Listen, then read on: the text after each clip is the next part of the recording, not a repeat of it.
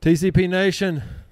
Oh, I just want to sit back in this chair and talk to a guy I respect, I look up to. I'm I'm proud to say my kids are about his at least Jessley's age. I mean, they're getting to compete in some sports together.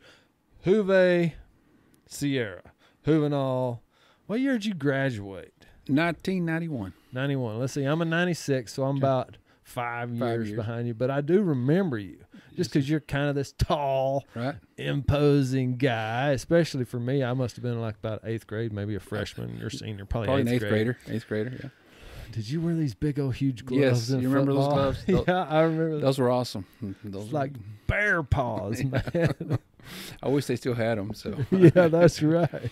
Anyways, we're going to talk about life, uh, work, business, philosophy around uh, just kind of being the best you can be. I think that's something you try to do.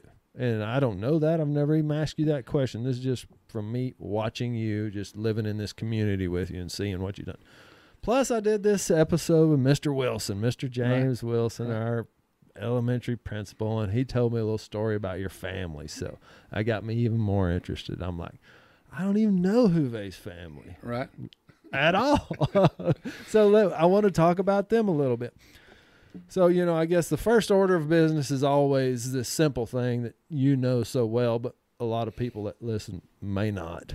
Go, Where'd you come from? Like, like where did you come from? I mean, we're in Comanche, Texas. We kind of got connected in that way, but right.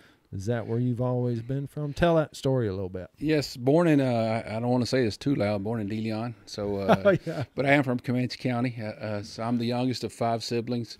Um, the way we ended up in Comanche, my dad back in the 50s was in this, what you call the Bracero program.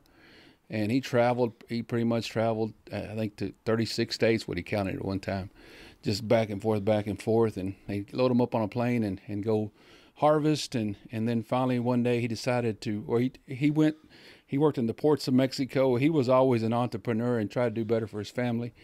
And, and and one day he decided to he found Hico, Texas, out of uh, they were harvesting here, and he decided to stay in Hico, Texas, and there was an opportunity back then to um, to get his family back to to, to United States, and and he uh, I was I, he brought my mom and, and and two siblings, and left two down there in Mexico, and back then you didn't have no communication, no internet, no phones were very limited and so, you know, for about a year, the the, the uh, my oldest sisters did not know anything about my parents. They didn't know if they were still alive. They didn't know where they were at.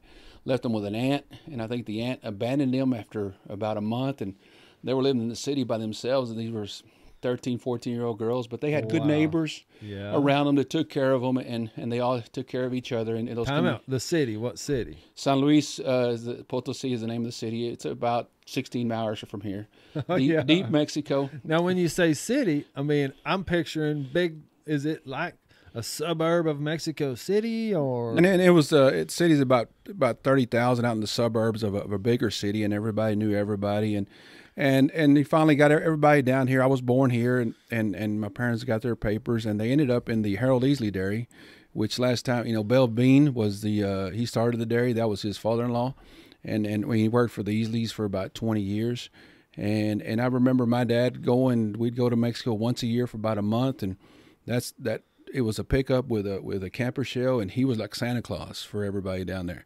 It'd take us two two days to get down there, but he makes sure he took care of all of his siblings and, and friends and, and, and, and we would every night we would spend with somebody's family with a big dinner because he was always bringing them something. And grandma would get mad because he would never spend time with grandma because he was always we were always getting invited to all these parties down there. And he was like the uh, the Santa Claus to all those families down there because he wanted to give back to his community. And and and and I looking at that we were in the back of this truck like sardines my brother and I and we just didn't have any room it took us two days to get there, and it was a miserable, miserable ride because we were packed in there. Well, in, in a camper shell in, in the bed camp, of a truck. In the bed of a like, truck. Uh, if you never rode like that, there's no AC. There's no AC. You're hoping for some wind, maybe a little cracked window, but it's not air conditioned back there. and, and, he was one of the very first pioneers in that area that, that, that decided to come to the states, and and and after that, several people followed, several of his of his, of his siblings and, and cousins, and and, and and and and we still go back. He still goes back every now and then, not as much, but he still has some friends, and everybody remembers him, and and and and it was neat to see that everybody appreciated what he did down there. You know, brought either with new clothes, and mom would shop throughout the year, try to get them clothes, and and and, and just took care, to, try to take care of some of those family members down there. What he would do. Well, well, did you ever ask him or why why did he was that just a, a cultural thing or why did he want to go back and do that? I mean you'll hear it said man i want to get to america because that's where all the opportunity is. And then you, a lot of times it seems like i'm just getting out of wherever i am because i'm looking for better. He kind of wanted to go back. What do you think about that well, I, I, think he saw that he was, like I said, one of the first in that area, and he and he felt that these folks needed something positive during Christmas, and we'd go during Christmas, and he and and to see a kid have a new toy or, or just a new Wrangler jean, which was the best, to see the face of and the face of the parents, it was just. It, it was incredible. I didn't even think about it back, back then, but the amount of families that he would, that he affected was just and it was and it was good friends. And and and, and they would they appreciate like I said we'd have big parties we'd have food big, a lot of food. They'd always invite us. We were always going to somebody's house that I didn't know and my parents grew up with and, and they would always invite y'all need to come eat with us tonight. And yeah. and grandma was mad all the time like are you ever going to spend time with me? I said well they're inviting us to, we always had friends and relatives that would always invite us to eat over because my dad always wouldn't forget those people that was around him the whole time. Yeah. What was his name? Juan. Juan. Just like my brother yeah. Mm. Okay, well, tell me about your brother a little bit. Okay, so we're we're we're still kind of talking about where you're from, but we, we might take a right. we might take a, a jaunt down a little different road. Right. I mean, so Mr. Wilson's story is your dad coming up to school, keeping an eye on Juan because a note had got home that Juan was acting up in class a little bit, and Mr. Wilson's I almost want to just call him cute because I mean he's just. Like, Juan's a great guy, but he's a little bit of a troublemaker. You right. know, I mean, he's, he didn't have any problem with him, but he needed a little bit of help figuring out I need to do what I'm told. So tell me about Juan a little bit. Uh, what is Juan your next oldest brother? Juan is is five years older than myself, and one thing about Juan, Juan taught me how not to get spankings because Juan got he got it rough sometimes. I mean, he would do things that he was a handful for for my mom and dad. You know, my mom was telling me a story one time that they were at, at a bus station somewhere in the border, and they were about to load, and said, "Where's Juan?" And no, he's nowhere to be seen. So there, he's got a, they got about ten people looking for him or so or something like that, and he's like three blocks down the road playing with some kids, just disappeared out of the blue. So he he was a a, a kid that they always had to discipline, that you know, yeah. and, and, today you know the water hose. I see, I, I, can see it. He gets smacked with that water hose. If you do that today, you know, oh, yeah, you, right. know you're, you're going to jail or something, you know. But but he got a lot of discipline, and Juan just wouldn't listen. He was just a very mischievous, didn't do nothing really bad he was always trying to get his, into something, and he always would get into something. And, and my parents always worried about him because he can never never keep him still. Yeah. and, and, and back then they didn't test for ADHD or no, he might have had some of that, but right. but he, he was just a very active, and he always was in trouble. And I knew better so uh, Juan always got in trouble, and I kind of just say I'm not going to go that point because Juan could get some good, good spankings. Good, he, he, he got some good, good belts. He knew a lot of leather. Juan knew yeah. about leather, you know. So, oh my gosh, I mean that's just a whole other topic. Like, I think that's good. Like, Juan wasn't being abused. No, he was being taught risk, reward, consequence, all these kind of concepts in in a very understandable way. Right. At least in my estimation, my experience. Hey, I've known leather. you know, right? I mean, right. it ain't like I escaped the leather. But in today's world, like you said, man, you might go to jail. Right. Well, I don't know. I think you might almost go to jail for not teaching your kids something, right? Can we turn that on the opposite direction?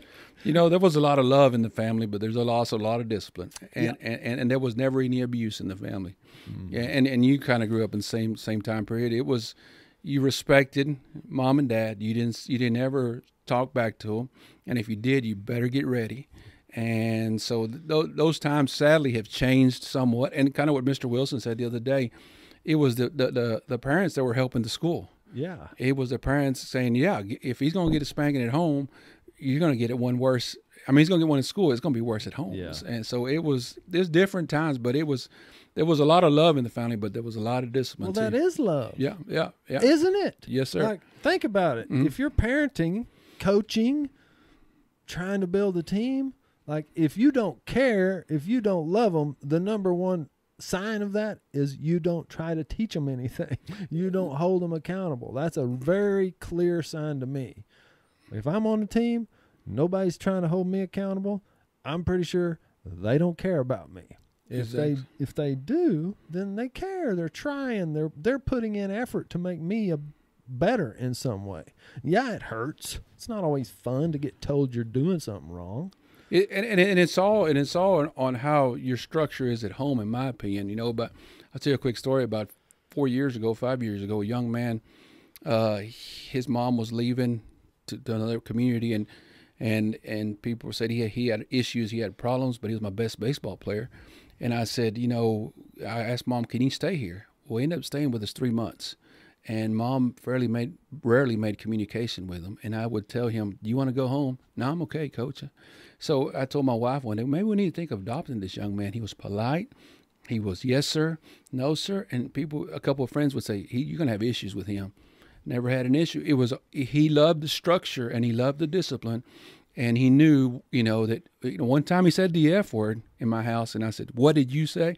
He said, "Nothing, coach, nothing." I said, "I know what you said, and that better never be repeated in my house." And it and it just takes a little bit of discipline sometimes. Yeah. And and and that's I think we as parents Consistency. consistency, correct. I don't know. I listen to podcasts all the time, books written about sales, uh, self help. Just how can I be a better podcaster, even? And there's, I know I've heard in there, kids, humans need, they need to know where the boundaries are. That's so much easier than to not have any, just having no boundary. Like Right. you have to almost dream up your own boundaries. Well, we're really not capable of doing that very well, especially not at a young age. Right. I mean, it could be argued I couldn't do it well right now today, but you get a little better with age. Awesome, cool. Well, hey, that that right there speaks to who you are a little bit in just bringing this kid to your house. I mean, it's a little selfish. He's your best baseball player, Right. yeah, but also people would tell you he's going to be a problem. You're like, well, I hadn't seen that yet, so until I see that, until I experience that, he's not a problem. That is so valuable. Yeehaw, people. You got to listen to that. Don't let the world tell you how it is. Right. Find out for yourself. Okay, back to the family. Juan, okay, so he's five years older than you. You got any siblings between you and Juan? Yes. Well, there's actually seven of us. I had a brother died at two, and a, and a sister died at one years old. But there's five of us now, and and uh, have a, a sibling in the Metroplex. She works for DFW as an accountant there at the at the airport. I have a sibling that's a nurse in uh, in uh, Brownwood. There, Uh, uh, and then I have another sister, three sisters, and a sister lives here in Comanche that works at uh, Appleton's in Stephenville. Okay. So there's five of us. When we first came here, I think my oldest was about my oldest sister was about 16, and she didn't want to go to school. And then my my my next oldest was 15 or 14. She went to high school not knowing any English, and, and she went on to Howard Payne, got her accounting degree, and then and then and then my other sister was about 12, and she went on and got her um, her RN, and then Juan went on to get a civil engineering degree at A and M, and so I, I kind of was forced to go to college after we had that success, and you know in the family, and and so. so where'd you go? Uh, A&M. I graduated from A&M right. in '96, so uh, proud Aggie. Uh, Okay, so one's the close. So wait a second though. I want to ask this: Are you close now with your siblings? Were you close? So you're the youngest, like Right. so. Then that starts to be a pretty big space between oldest and youngest. Tell us a little bit about that dynamic because I know there are people living through that similar situation, maybe, and and those families are getting smaller these days too. But I'm always interested in how that shapes who you are. Being the youngest, there's there's something to that. I don't know exactly what it is. Were you really close to any of them? Are you still? What? How would you explain that? You know, when you grow up in a house where you have you got to share your your bedroom with your brother and sisters got to share a bedroom, and then mom and dad, you you end up being pretty close, and and and I think you attribute that to mom because every day you made sure you had breakfast together. Every sure you got your clothes were ironed. At home, she had dinner ready for you that night. Make sure everybody took a bath. Make sure you communicated. We didn't have cell phones, you know. Right. And and so eh, we we grew up very close, and up to this day, we're all very close. Uh, we, we I'm kind of the um, the person they look to me is kind of strange that they may disagree, but they look they, they look to me for, for gathering people together for parties or what you're going to do for mom's birthday, what you're going to do for dad's yeah. birthday.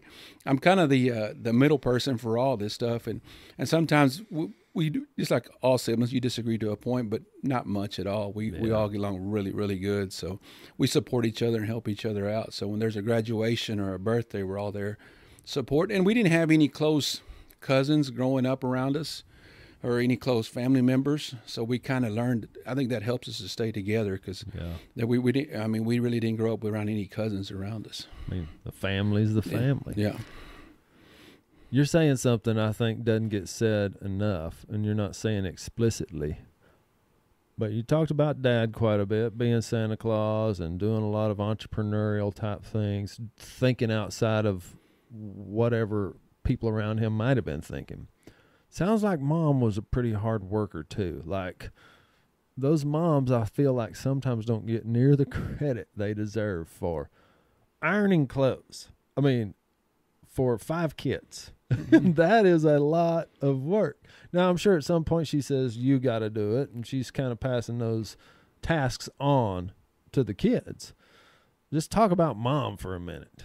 You know, we used to have those pants with patches. Yeah. Now it's it's it's the thing now. yeah, right. we were like kind of embarrassed going going, yeah. going with torn pants going going to school, sure. but now now that's the thing, and that's that's changed. But I believe what what mothers have done in our society. When I think when mom went to go work, when both mom and dad had to work, we forgot the family yeah. because mom took care of the like the, the, make sure we had the warm food that night, make sure everybody was bathed that night. And now mom comes home tired and everybody's so busy. This kid is, is playing sports here. This kid may have guitar lessons. This kid, and everybody's kind of trying to just make it as quick as they can. And everybody comes home and gets you a frozen sandwich, get you, I mean, a frozen pizza or a sure, sandwich or yeah. something. And, and the communication was not there. Mom made sure that we all sat down on that table every night and communicated. And I think that was kept the family united then and now our society is to the point where we're just go go go, yeah, and that's I mean, and and mom has to work to to help pay the bills because if mom don't work, it gets it gets harder on the family too. Yeah, you know. So I, I, think mom was is the very is the most important part of the what family. What was your mom's name? Maria. Maria. Was, yeah, yeah. Juan and Maria. Well, high five, Juan and Maria. I think you did a really good job. At least with Juve. now, here's some really cool stuff. Okay. Uh, anything left on the family front that we want to talk about? So you lost these siblings young. Mm-hmm. Were they? See, my dad. It's kind of a crazy story. My dad might not have even been born, except for my grandmother had two miscarriages prior to having wow. then four healthy children. So you don't know what God's plan is in a lot of this what so how so one two did they get sick was it accidents what happened there? well back then they didn't have the best they lived in a very remote village there wasn't any doctors they have a fever and mm-hmm. you, you, don't have no medication and and and and to see my mom my mom lost her her her mother when she was about six kind of raised herself or, and and she kind of would tell her stories been, being going to aunt's house or this aunt they kind of raised themselves and and then losing her, her her two kids, and I never heard her complain one bit about life. Yeah, and and to see when I a lot, a lot of times when I see people hear people complain, I was like, hey, it can be worse. Yeah. We're in the greatest country. We're in America, guys. You know, right. you know, and to see her, her the way she approached life and the way life is. She never said life has been tough on me. Life has been rough on me because I didn't know my mother. She don't remember her mother. I mean, she was like five or six, and pretty much raised herself. Yeah. And and, and then and I, and I think that's another another reason they became very charitable along the way. When they had a little extra money, they would take it back to the people in need, and that's yeah. that's important. I think so. You're also saying a thing. I hope people are hearing. I'm glad I'm hearing it. Like I'm selfish, really, because I'm learning a lot here too, or it's reminding me to think about things in this way. You learn a whole lot from just what seeing what your parents do or how they act or how they talk. Like I bet your mom's not purposely teaching you to be tough, to appreciate what you have, but she just did it, so you do it. We're like, I don't know what else to do. I, my mom never did complain. Right. She had a really tough, she had a tough go of it. And sometimes we, I think we got to start appreciating the tough go a little bit more. Like the tough goes is actually, it's actually okay. It, it helps you in ways that, that are hard and not always fun, but it absolutely does. And, and you try to you try to take that to your kids and I do that to my kids when they start complaining. Like if it's if it's about sports or or, or, or well, especially like, something extracurricular, I said you have a choice. You can quit and find something else. Find a passion that you want to do. Yeah. Don't don't don't just because dad likes it. You find your passion and quit complaining about. And, and my kids know not to complain. Pretty much, they don't. They they, they really don't. Because yeah. I'll get onto them, and that's that's that's the key. I said the easiest thing in the world is to complain.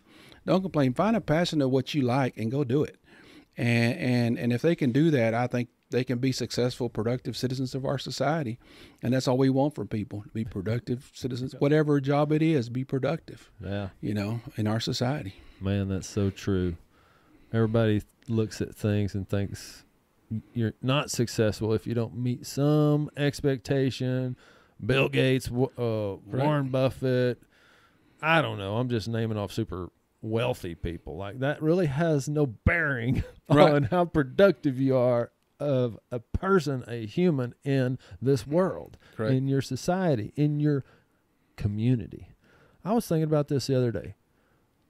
The world is so big and it really doesn't matter outside of your community, your family, the close people you get to see each and every day. Right. I mean, there's another Neil and Juve sitting in a podcast booth in Minnesota somewhere. right. But who know? I don't know them. You don't know them. Right. They're just doing their thing. We, all we can do is do our thing and try to be really positive uh, assets to our community. That's exactly right. Yeah, you, you got that exactly right. So, are you competitive? We try to be competitive. Why do you say we? I'm saying, are you Juve? I think you competitive? are. I think any everybody's competitive in whatever they they, they want to be competitive. I think whether it's academic, sports, whatever it is. At my job, I'm very competitive. I think we all that's just our nature. What is your job? I work for Texas Bank here in Comanche, and I, and I am the president of the local branch here in Comanche. Been here about four years. Yeah. Uh, let me just tell you a little secret, folks you don't get to be president if you're not competitive. like you don't get those responsibilities. You don't get to another level of uh, career if you don't have a little competitive fire in you that says, yeah, I'm going to stay here late today and get these things done. I'm going to work hard on, I'm going to make sure I know this, whatever it is, frontwards, backwards, sideways. So I'm not going to get stumped. I'm going to look like I know what I'm doing in front of anybody you put me in front of. That's competitive. I got this sneaky suspicion Juve's really competitive. Why I'm asking this question is I want to get to, but I never see you going off screaming at the ball game, hollering at the refs, stomping off, throwing your chair at the fence or any of that stuff. Where you know a lot of how do you do that? How do you keep that composure, even though I know you've got competitive nature in you?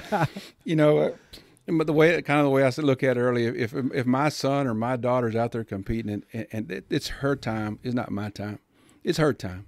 Now, the one time I get onto them is if you're being lazy, and that's gonna, and they're gonna hear it at home, and they know not to be lazy if if the ball's stolen and they take one little break, they know that I'm gonna be on them, and they're gonna say, "Look, you need to quit. You need to be more competitive. You're gonna get that happen to you, but you got to keep on fighting." Yeah. And if you keep on fighting, it's a, it's too late for me to be screaming at you, whether you scored or you made a mistake. It's too late for me to be screaming. I mean, that's a coach's job. That's not my job. I mean, that's what he gets paid to do it. I'm not going to be screaming at you, telling you what to do. I don't know what you're supposed to do. Yeah. I don't go to your practices, so I'm not going to yell at you. There's there's a deal on on um, a coach from Cincinnati uh, that that talks perfect. I think he was a head coach at Cincinnati, or he talks it perfect. He said he said these coaches don't get paid much, these referees don't get paid much, and, and he says they're doing they know what they're doing. I don't need to get involved. Yeah, and I don't. I, I, I this is their time. It's not my time. It's kind of like my son. He he loves stock showing. That he found a passion in stock showing. I hated it with a passion. Yeah, and he knew it, but I supported him. And and and he got to the point where he didn't want me involved in any of it. I never really got involved in any of it. And, and I, we were at stock show uh, this week, uh, last this year, and the, the the ag teacher said, "Let me help you out." He starts blowing his animal, and he goes, "No, sir." This is my animal. Don't mess with it. He yeah. kind of moved, politely moved around the way. So if you find a passion for what you do, you don't need me to be screaming at you. Go get it. Go. You're gonna go do it on your own, whatever it is. And that's why I never scream at my kids. Now, if they get lazy at home, they're gonna hear. They're gonna hear the the brunt of it. And and, and they said, don't don't don't don't don't waste the coach's time, and don't waste my time. Just go. But if you want to enjoy it and go compete, go compete. Your kids all strike me as pretty. uh calm competitors too. I'm, let's just take Jess for example. She pitches in softball. That's a pretty pressure position. Uh, man, that girl, she just never seems rattled. Am I missing it? Is she rattled? And I just don't get it. But she just takes such a good attitude towards it. How did you? Is that naturally her, or is that something y'all work on? Well, uh, that that's naturally her, because I'm going back to she enjoys it and she wants that that that competition. She wants to be the one, even though sometimes she don't work as hard as I think she needs to. But she wants she wants to do it, and that's her doing it. And yeah, she don't get rattled. Actually, we're gonna go play in a softball tournament tomorrow, and and and uh, and I. I called a friend of mine and said, "Hey, do y'all need a uh, a player?" She goes, no, "Do you know anybody needs a player for this tournament in Dublin?" He goes, no, but uh, I know somebody that does. So we went to practice last night, and it was a 14U team.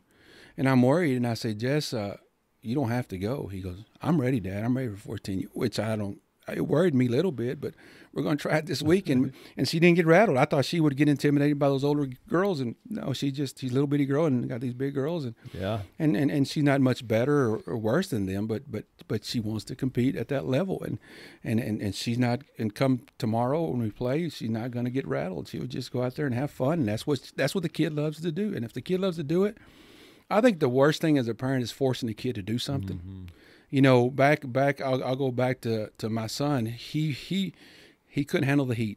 Baseball was not his sport. So he was about 13 years old, and I said, "Son, you're going to have to find something else." And they said, "Dad, can we go competition swimming?" And he found it on his own. So we were competing with the South, Southlakes of the world and all the Metroplex, and we were going to this big pool areas, kind of Olympic pool. And he got to the point where he was really he was really good, and he enjoyed it because he liked that's what he liked. And I never had to get on to him, hey, you go go practice or you got to go to practice. It's it's fun to see kids find a passion to what they do, not what dad or mom. Sometimes you want them to do what you what you like yeah, to do, you do, right. but but they got to find a passion of what they enjoy to do, and they'll do good at it, and and they they will. Yeah. And especially if you got some good adults that'll help them along the way, and they figure out that these kids have a passion, they'll do good at it. Mm-hmm. And, and and we've been very fortunate with, with my son Robert and, and, and my next one coming up, Emily. So, and Jess too. Yeah, Emily's impressive the same way. Like they all just seem to they just kind of are quiet, hard working. The kind of kid I think every coach is like, give me some more of that. You know? Well, I don't know about that, but I always tell them I, I got a sign in my house is always be humble. So yeah. that's that's because you never know when this world will bring you down. So that's uh, and and I, and that's something that I teach my kids. Always be humble. Yeah, you know. Um, you're not the worst or the best at anything, and that's just the truth of it. When you really start stacking it up, I mean, I try to think like Michael Jordan, mm-hmm. Tiger Woods, right? They might actually be the best. Like Tiger might actually be the very best golf player ever. Yeah. But I don't know. It's arguable he's not, you know? So I mean, you it's hard to say any one person's ever going to get that accolade. You're the very best that's ever lived or ever going to live at this thing. Don't don't even try for that. Right. go be humble, realize you're not go be the best you can be. Maximize your potential. Don't try to be somebody else. Just maximize what you can do because that probably takes you a lot farther than you even dream. Right, right. Oh, do your kids? So this is a personal thing here, or I'm like seriously, you're making me kind of want to be better, which is good. My kid does, has one of your kids ever said to you, "Dad, you never tell me I did good. All you ever do is tell me I did bad." Have they ever said that? Because that's what I get a lot. Well, the way I usually follow it, uh, the way I usually handle those, because I've I've had those comments and I try to avoid those comments, but I always critique some the negative, and then come back finish off with a positive. Yeah. And it, and, and I said, look, you're gonna have to you know look at the ball better. But I like that slide you did at, at, mm-hmm. home plate. That was impressive. And then and then they kind of in their mind. That's the way I do it. In their mind, say, okay, Dad wants me to focus on this a little bit better, but he likes this part of my yeah. game. So there, it kind of gives them a little bit of hope. But well, and, and then I think it also ties back to their passion for it. Mm-hmm. Like if they love it, they want to hear what I can do to be, be better. better. They want to hear it. it yes. does. They don't see when they're doing it just to make Daddy proud of them. They want to hear that Daddy's proud of them. Right. And if they're not getting that, man, that's a wake up moment for me right there. The, my kids may be doing things because I want them to do it, not because they want them. They want to do it. So I got to really look into that. I think in, everybody take a second, ask yourself that question. Right. You know, is that is that a truth in your family or in your life in your relationship with your kids? It is for me. And I don't know that's black and white exactly. It's probably gray in some ways. Like they probably do still like it, but are they really truly passionate about it? And it all goes back really to you know the uh, you personally as your, as your whatever your career is, and, and and being a community banker is important to me to try to help out this community whatever which way I can. And you know I couldn't go work in Waco or in Dallas. I, I guess I would if I had to, but but you know you kind of feel like you make a difference a little bit in this community just by some of the things that you do. And you don't have to publicize it. You don't have to you you know you yourself know. And i and i, I was driving through town the other day and i said man there's i counted about three or four customers that started at the very bottom and now they've been very successful.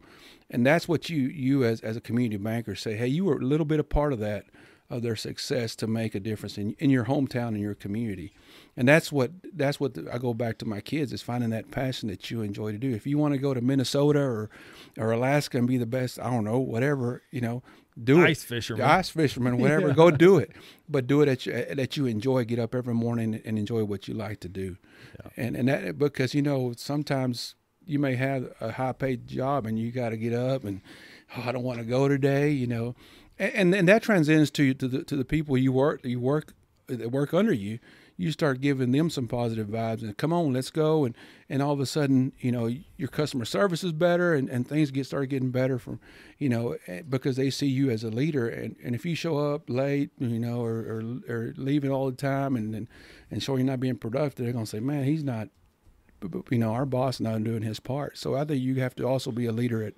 at work, just yeah. like you do at home. Absolutely. I mean, it all, it's all this meshed together thing. Home work marriage. Yes definitely. That's the most challenging. It really is. I mean because there's so much dynamic in in merging a couple of humans mm-hmm. into a marriage and into a successful financial relationship parenting relationship emotional relationship right. all of those things um, you kind of learn when they uh, when your wife uh, is getting ready for the morning, puts on a dress, and says, "How do I look?" What do you say? You look good. You're not going to say, "Nah." You never, you know, yeah, you're not. You're not going to say, "What?" Yeah, well, you got enough ki- uh, daughters too, right? I've got three daughters. You got a couple of them, right? I mean, it's so dynamic, and I'll try to be quiet. I'll be like, "Looks good." Yeah. Tell me what you think. Oh, I don't know. It looks good. Careful. It looks you good. you gotta be careful. You gotta be careful. Then else, which I feel kind of lucky because they've started being that kind of sounding board for each other. No, that doesn't look good. And yeah. Take it really good. Yeah, you, you got to be careful how you say it. Yeah, yeah, totally. You can't just say it right away, and then they can say, "Take that ridiculous shirt off right now. Put something on better." Okay. Yeah, yeah. and, you know, just, I, I don't care. Yeah. Although my wife would argue that I do, because one of our we were at a food show or something, and she went early in our marriage, or maybe we were even just dating. I can't remember. Maybe we we're married. Anyways, we were serious about it. She went and bought me a bunch of clothes. I put I came, put them on, and then never wore them or told her I didn't like them. She had to take them back. You know, like that hurt her. That's not going to be something she ever forgets. Not it's not like this thing she can't forgive me for, but it is a little bit painful when somebody you really care about doesn't appreciate this nice thing you, you did for them or right. your your your opinion right, right. it's okay you live through it and that's fine like I, I didn't love the clothes they i mean for whatever reason. I was about to say a minute ago i don't care what i wear i will wear what any, whatever but that's obviously not true. Right right right. So why banking? So what'd you go were you like did you just love math money? Uh, uh, yeah, I, I, enjoyed math in school. When I was an eighth grader, Archie Boyd, I don't even remember Archie. I've heard the name of. He bunch. was a counselor, and he was in eighth grade, and he and I remember pulling me aside, and he says, "You need to get these." I just want to get the, the simplest classes in high school. He said, "No, you need to take uh, algebra, algebra one." I don't know if they had calculus back then. I don't know, but it's geometry. I said, "You need to take all these maths." I said, "I don't want to do it." He says, "Yes, you do. You need to take them because you may help you in college." And as I took them in high school, I was good. I realized that I was I was okay at math. I was good at math, and and uh, and so it was kind of interesting. Kenneth Hagin was the president at Comanche National at the time. So every summer I'd go visit him as an uh, 18 year old, 19 year old, 20 year old, and says, "Hey, I'm going to college. One day I'd like to go work, come back, work here at Comanche National." So I graduated from A and M, and I have a good had a good job with a a pizza company. We made all the pizza food for our pizza meat for Pizza Hut, Domino's, and and I was a transportation guy that, that coordinated all that. And they called me right when my job was peaking where I was at in the Metroplex. So I come here for an interview, and uh, I took the job, and it took me about three months to come to Comanche because I was having doubts. Did I want to come back to my hometown? Finally, one day they called me and said, "Are you coming or what?" And I said, "Yes, sir." It was Jerry Vine, so I'll be there in two weeks because it'd been three week, three months since I accepted the job, and, and and that's how I ended up being a banker and then and then it took me a while to uh, to you know Comanche's tough. Comanche's tough to come back after you've been gone for a while. It's it, it can be tough. You know, there's not many people your age that you know that are single, and who you hang around with. And but it took me a while to adjust, and I did. And and and, and that's why I ended up staying at Comanche. State for about 20 years, and then and then moved over to the Texas Bank. Yeah. So how'd you meet the missus? We well, we actually were were really good friends in high school, and, and actually, uh, I'd come for the summer. I'd take her out to uh, to lunch, and, and I, I kept on saying, "You need to go to A and M. You need to go to A and M." So we were always really good friends. And and one day, one of our good friends, um, Andy Lane, had, it, it, was her wedding, and we talked on the phone for about two hours. He says, "Do you want to go to her wedding?" I said, "Sure." So we just went as friends. So we dated. We, we actually were friends for went out as friends for about six months till we started dating. So yeah, I just had a lot of respect for her, and and, and so we kind of knew each other when we were like seventeen or eighteen, and, and and then later on, you know, after college, started communicating. Never thought of, of never saw her as a wife, but right. but once we got to know each other, we you know? Yeah, that's how. That's what it ended up being. Uh, well, probably, probably a little similar to your story. Oh, yeah, yeah, yeah, Similarly, you know. like it's cool to get to marry somebody you really known your whole life. I mean, right. for such a long time. Like she knows everything about you. you know everything about her. You know each other's families. I mean, all that stuff helps make all that merging a little bit easier because you understand before you ever get started a lot about it. Not everything, but at least right a big portion of it. right, right, right. So, folks, I don't know. That's this. We're not marriage counselors or anything, or I mean, to be. even date dating counselors. But I think it is valuable to think about when you're in that time in your life looking for somebody to to do this thing together with keep that in mind. Like friends from a long time ago, they're a pretty good place to look. Somebody that you just you just have a good time with, or just the kind of person you enjoy. Have similar interests in those kind of things. That's a good place to start looking. Best looking butt doesn't really matter that much. Although it's okay, yeah. but it's not the biggest thing right. in the puzzle. Um, so tell me a little bit about the banking industry these days. I mean, this is June 2023. We got some inflationary times going on. Business is tough. What's it like being a banker? Uh, you know, I think the most things are regulations, how we're getting regulated more than we ever have been. And and banks are the expense of, of the regulations and hiring people in compliance and continue to make sure that, you know, you have fair lending. I mean, you document everything that you do that you used when I started in banking, you didn't have to do none of that. So it's it's gotten tougher. The, the and but I, I truly believe there's a niche for community banking. Uh, and, and you talk about the relationships yeah. And, and, I think that's important in our communities. And and it, it's I think it's always been tough in these communities. No no matter what. They're, like you said earlier, that that farmer and rancher is not he's not doing it because he's making millions. He's doing it because he's got a passion for it. Yeah. And he enjoys what he does. And and and, be, and being a community banker, you kind of have a little bit of input in that. And it's never good. These these communities are never going to be successful with billionaires and that kind of stuff. But we got to continue to, to go forward and, and try to support each other as a community and continue to grow together. And like you said earlier, we, you know, we, nobody knows what they're doing but us in our little communities, and we got to right. make them better. And that's all we can do: try to make them better. And and that's what and, and you know and I learned that a long you know I'll tell you a quick story. I learned that a long time ago. It's one of the a lot of pride I have in Comanche is when I first came here. Jim Wilkerson was probably one of the very first persons that welcomed me to Comanche and Jim was my community best friend. I saw him every day before he passed away about five years ago. But but Jim Jim and Nancy were just they always would welcome me and help me and and we would go to every football every road football game with Jim, H.R. Jeffries, Doc Calhoun, I think Bill Parker might have been one year before he passed away. And I, and I was the young guy going with these guys. And that's the greatest generation ever, in my opinion.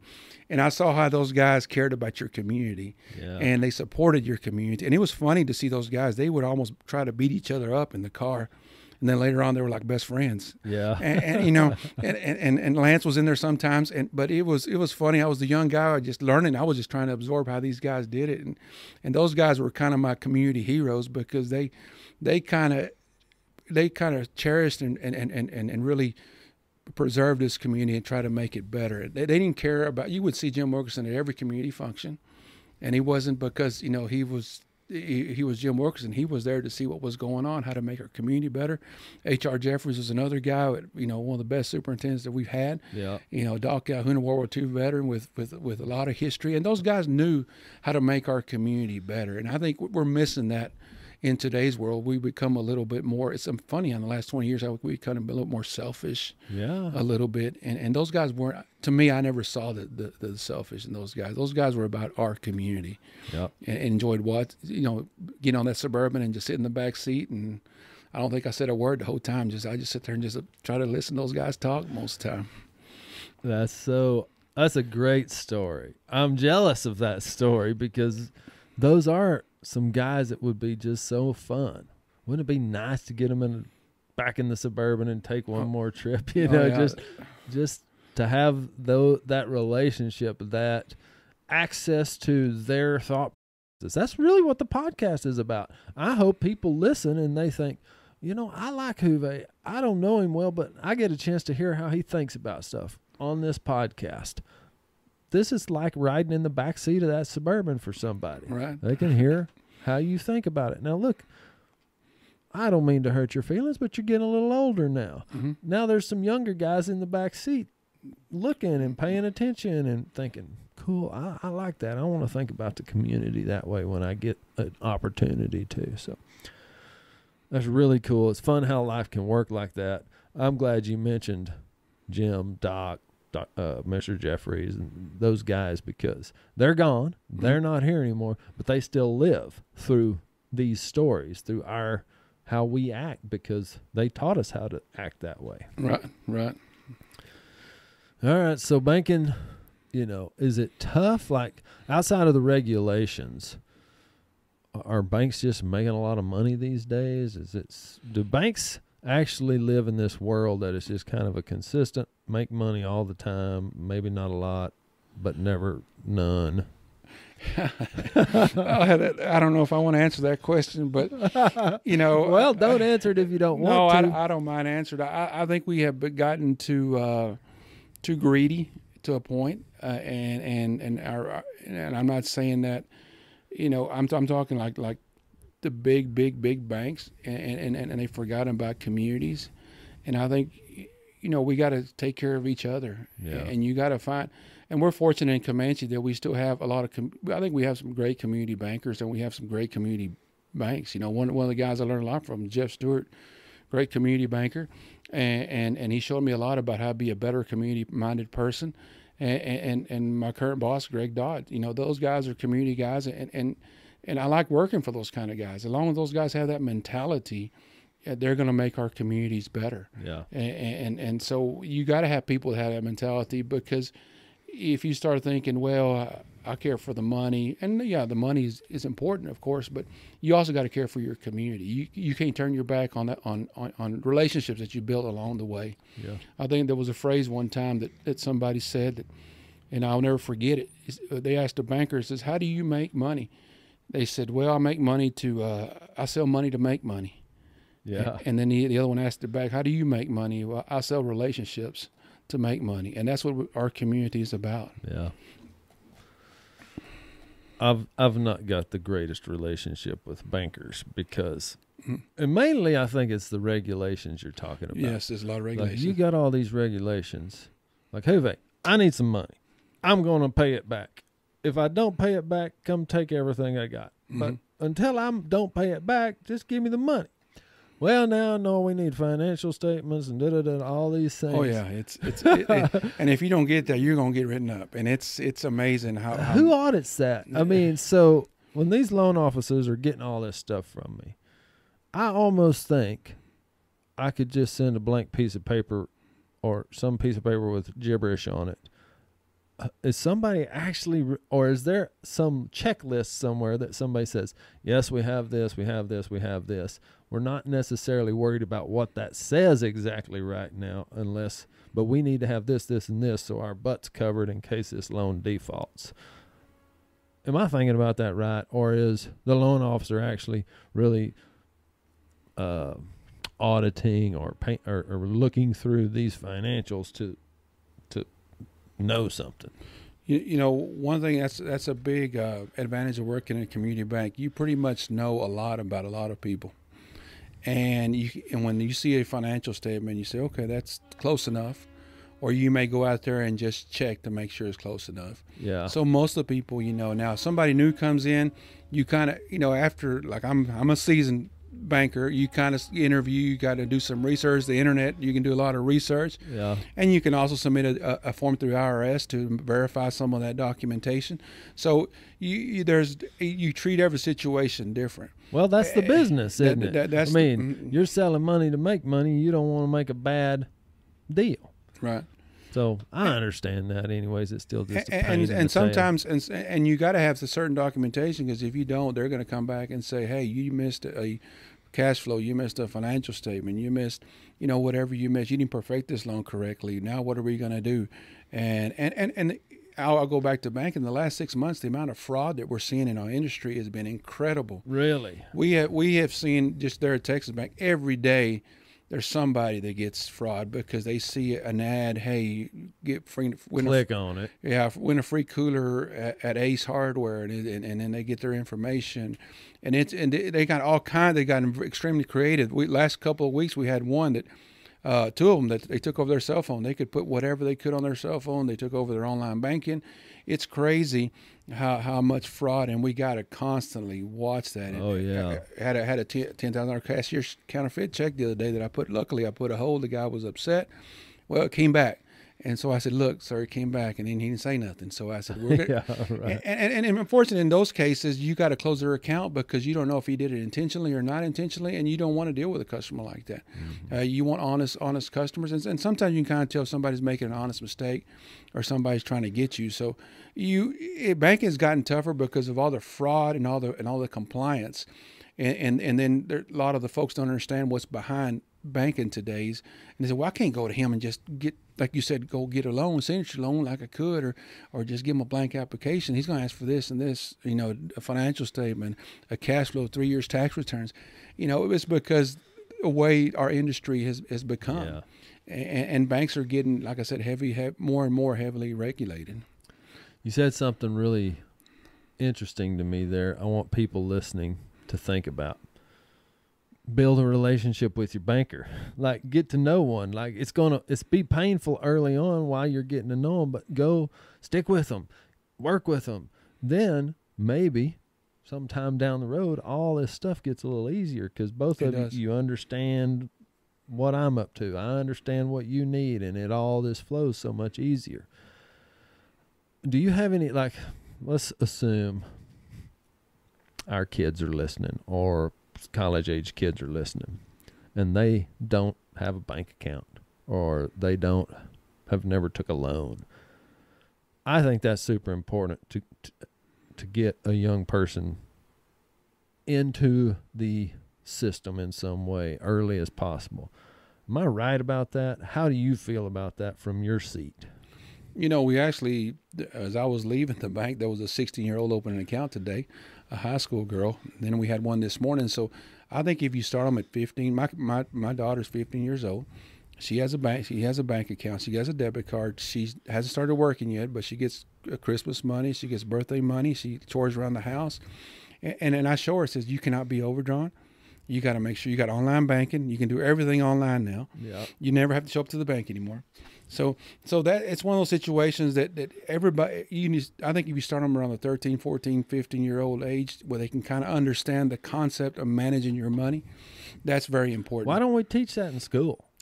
Uh, you know, I, in a bigger way. I, I, I do not know. I, I you know, I, I, used to go to the schools. I went. I think last time I went was three or four. I'll tell you another story about this school.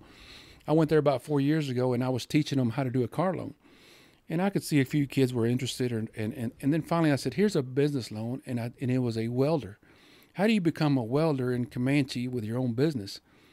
And there was a young man laying back, and he just laying back, he didn't even pay attention. And then I say, a business plan for a welding. He gets up and he starts asking questions. Now he's he's our customer now at Texas Bank. He's yeah. an independent welder. I don't know if that I don't know if that changes his his his philosophy of what he was going to do once he graduated, but he's got a, a successful young. He's, he's probably 22, 23 years, but he's, it seemed like he's got a good little business going on his own. And, and, and it, it got his attention. So, yes, we need to teach more of that in school the budgeting, the financing, the opportunities. There's kids for out there, but I think the most important thing is budgeting. If kids know how to budget early on in life, even if you go on to college, you already got a head start. Yeah. Uh, you know, and when I went to college, I don't know, you know, that's when I learned the most about budgeting. You know, the first year I kind of got a little crazy because you didn't, nobody taught you. Then after that, I said, "Whoa, I can't do this every year. I got to yeah. figure out a way to budget a little bit better." You know, so yeah. you kind of slow down a little bit. You know, you got to learn. Yeah. I can't have ribeye steak every night. That's exactly right. I can't have Nike Air Jordan shoes. Like that stuff. I'm just pulling some of this stuff out of the air. Right. It was high. It's stuff I remember from my life as high dollar things I couldn't have. Right. You know, uh, ribeye steak. I guess I could. We we raised cattle. But, yeah, you got plenty of that.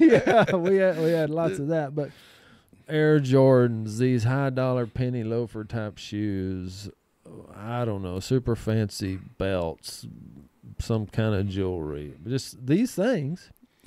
That's right. You can't have it all. Like you got to learn that, and you got to figure out how to budget for those things. Save if you really want it. Save. That's a story of mine in college, I worked, washed dishes in the cafeteria for a whole year so I could buy a saddle. Right. I wanted a saddle. Right. So I did that. I mean, my friends were going out doing all these things. I'm like, nah, I got to go to the dish. I'm going to wash dishes. It was a great lesson for me. I look back at that really fondly. I think that's one of the best lessons college teaches you. If if, if you take it on is budgeting, and if you come out there and you learn how to budget, you'll be very successful, whatever you do in life. And I agree with you. They need to teach that more in our schools, and and, and teach these kids how to budget. You know, it's not not the paper you know checkbook anymore because these kids oh, yeah. don't use that's that. No, done. that's done. Nobody uses that anymore. There's still a few customers that use that, but but these kids are they're not going to use that. They want everything electronic. And and the good thing about online banking nowadays, I mean, you can do everything. It's about anything you want. You can do a stop payment online banking. You can increase your, your limit on your credit card. You can kill your debit card with online I, banking. I pretty much don't go to the bank. You don't need all. to go. You really it gets to the point where you don't need to go. Our ATMs, you know, you can get cash out. You can make a deposit on ATM. So so you can pretty much do anything you want without going to the bank nowadays. Yeah. Uh, so it's it's become very easy, and if you can teach these kids how to do it, and it's kind of interesting. Uh, today, uh, me and my assistant were talking about it. Like a lot of our customers, still young customers coming in. Yeah and, and I don't know if they're being they like to come in or but they're still coming in. A lot of the younger customers, sure. just, like, just like these young men that's well, 22 it, years old. It changes. Like I think ever like every generation starts acting a little differently because they want that relationship again. Or I had it a lot when I was a kid, so I'm a little more comfortable not doing it. But I'm telling you, my parents, they're not going to do nothing online. They don't trust it. They think they're all their money's going to get stole. They want to go hand it to somebody at the bank that can take it. What about credit? Uh, what about building credit? How do you do that? Is it important anymore? Oh, and one other funny thing right before we t- go to credit. I I'd pay it with a check at the feed store, my bill. I don't know why. I just do there was a young kid that works out there. He said, "Oh wow, a check! I've never seen one of those." I mean, it was the funniest thing. It's like he was seeing some kind of uh, unicorn creature or something. Checks, man, I've heard about those. Well, now with Venmo and all those apps, yeah. that's that's that's eliminated all the checks. You know, I yeah. I was at a softball game one day, and the umps are getting Venmo in the middle of the plate, but right before about to start the game. yeah, you know, that's right. There's no cash exchange anymore, so yeah. so yeah, that's that's why checks are being eliminated. We there's still people that use checks, but it's less and less. Yep. You know. What about credit? Credit, I think you start credit at a young age. Um, you know, legally you you cannot have a contract signed until you're 18. But a lot of times, you know, mom and dad will come in and, and says, I want to get them started on my credit. You know, wait till they're 18 and, and, and they'll co-sign for them for a vehicle or, or, or a CD loan. They put their own money to kind of get them started. And, and as you go to college, you can start those credit cards, those small credit cards. Yeah. That and, and as, long, as long as you don't have to pay it off every month, your credit starts to build. It's not going to be overnight. Credit's just not going to happen overnight. It just time is yep. all you need. But I think you need to start once you turn 18, start looking at having your credit because they don't report till you're 18 anyway. The credit bureau doesn't. So having that credit, having a checking account at a young age is always good for a bank to say, hey, this person's taking care of their account. They're good. By the time you're 20, 21, you've already had an account with five, six years with this bank.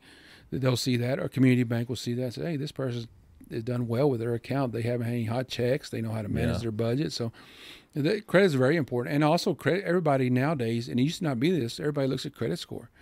I mean, some banks will give you a loan, but your credit score is going. If you got a low credit score, you're going to be twenty percent interest or eighteen percent interest, and that's going to cost you money if you have yeah. bad credit. And if you have good credit, you're going to get the you know the cheaper interest. You're going to save money. So take care of your credit is very very important. Ah, you that's, know, that's so such preach, Juve, preach. Yeah it costs you more money to have bad credit. So value good credit. Value the budget. Value the truth. You can't have that. Don't put. Don't run your credit cards up and not pay them off. It, like these things. Everybody's got to think about. Uh, I had a guest on. His name was Stephen Barden. He said, "Neil, I try to get my interns to think about future Neil. Like think about future Juve." Future Juve's not going to want to pay high interest on everything, especially when he's also now he's borrowing money for bigger things in business and this kind of stuff.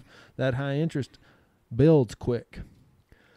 Anyways, I just think that's a great concept. If you're, I don't know, I don't, you could be any age, just now starting your credit uh, building, uh, I guess, journey.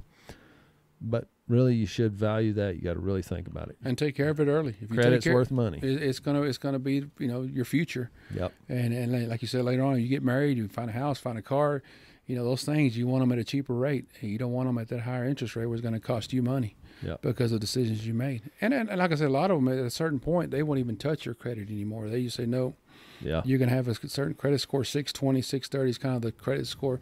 If you're 700 above, usually you're pretty good credit.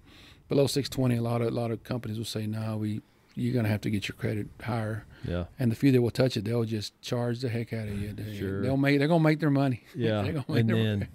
you end mm. up not being able to pay because you're paying so much interest. Right, right, And then right. it just hurts your credit. It's just kind of this vicious spiral to the bottom. What else? What else have we not talked about? well, I, I think we pretty much covered a lot of things yeah, in, in you short know that's all fun. We covered a lot, covered our communities, our families, and and and uh, banking. Banking is not the most uh, uh, entertaining subject. You know, Well- most bankers are pretty boring, I would say. You know, It's super valuable. It's super integral. but it's very valuable in your in your daily life. Is Yeah. what it is. You know, most building a business, any of those things. And that's what I tell my kids. Like I said, both my kid, older kids have accounts, and, and I said, take care of it. You said, you don't want you don't want the banker's kid to be overdrawn because I'm gonna come after you. Yeah, that's right. So, that's right. Especially where where we work, where I work at, you don't want me. You don't want to be overdrawn. Where I, that is not a I'm good. going to hear about it. Yeah, yeah, we're gonna hear about it. So uh, that's uh, that's very very important. Well, Juve, I appreciate you coming here. I'm just thinking, I'm taking a second just to say, man, was there anything else that I really wanted? I really, I got to ask about, you know, where your calm demeanor comes from. What is your favorite sport? Like you said, Robert wanted to swim, and Emily, I see play basketball pretty good. Jessley's pitching. Do you just like anything they're playing, or do you got one you like? There's one time out of the year that that, that uh, it's my fighting Texas Aggies when I'm on TV. I run everybody out of the living room. I said, "Okay, get." I, and my phone gets disconnected because I don't want nobody to call me in the middle of the game. and I sit there, and I, that's the only time I watch sports to watch the A and M A and M football. Yeah, there you go. And I so, mean, and of course, supporting our Comanche Indians. I've been on the chain gang for over 20 years, and supporting the Comanche Indians and seeing what uh, Coach Escobar has done with these group of kids. We talk about community and and what he's done. It's I I love it. I love me too. you, you know, you see, I, I, I told him, I said, Coach, you're that one percent coach that we have in the high school. You're the key. You're the coach that shows up at 4:30 in the morning. You have the passion. Yeah. And when we talk about going back to passion, I said I love to see what you're doing with these kids, and these kids are getting their butts worked hard, and they're loving it yeah. they're loving it and, and and that's that's what's those things are important in your communities so but anyway going back football football comanche high school and and and and, and my on tv Texas and that's the only time I'll, I'll, I'll watch tv I I'm won't- telling you, I went Mm. to Tech, so I wasn't the biggest fan of A&M. I also went down there to a basketball camp and had I walked on the grass in the wrong place or something, and a college kid just scared the pee out of me, like he's fixing to beat me down right here. So, anyways, I was just scared of A&M a little bit. Plus, anyways, mom and dad went to Tech, so I was Right, Lubbock right. worked out really good for me. It was a great place for me. It was perfect. I loved it. But Peterson's sponsored right i seen that football down there. So I got to get on the field. I got to go on the field during a yell practice. It really, that is some incredible stuff. Like that 12th man, the the history, the yell leaders, all that stuff around a- a- Aggie football and really all sports down there, but football specifically. right It's cool. It's I mean, diehard. it is It's- it's cool. diehard. man. It. Yeah. it's fun to go to those games and and and, and, hear the fans and as loud as it's been and, and you know there's there's uh, uh, six Aggies in our family already now, so we all sometimes get together down there and and and, and my brother will tailgate and invite the family over and we'll show up and and and uh, he he he has season tickets and.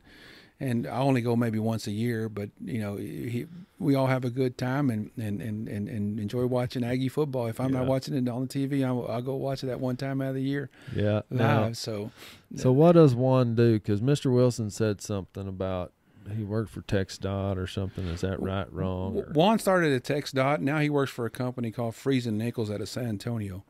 Juan has done really well for himself. He he one of his first project was a T here at, in Brownwood. He was involved in that design. He designed the, the North Loop in Granbury.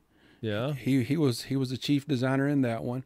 Uh, about three years ago, he designed the uh, one of the terminals in DFW. Uh, really? One of the new terminals, yes. And right now he's designing a new one in San Antonio. And he lives in San Antonio. And, and Juan is a uh, high energy guy still.